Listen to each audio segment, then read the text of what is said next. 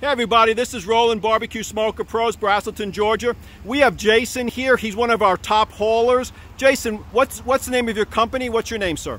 Uh, my name of my company is Adventure Adventuring Puzzle Pieces LLC. My name is Jason Graham. I'm out of Duluth, Georgia. And Jason, if somebody would like you to haul their smoker throughout the country, what's your best phone number? 470-738-9148.